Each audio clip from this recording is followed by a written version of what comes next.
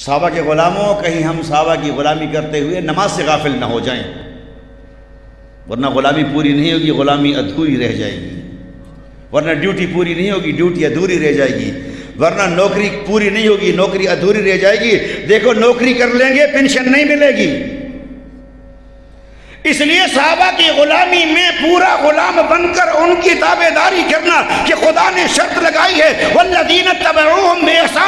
सही तरीके से पूरे तरीके से कामिल तरीके से महाजिर अंसार की ताबेदारी करेगा मैं उनसे खुश होंगे वह मुझसे खुश होंगे जो बरए नाम ताबेदारी करेगी एजाज नहीं पा सकते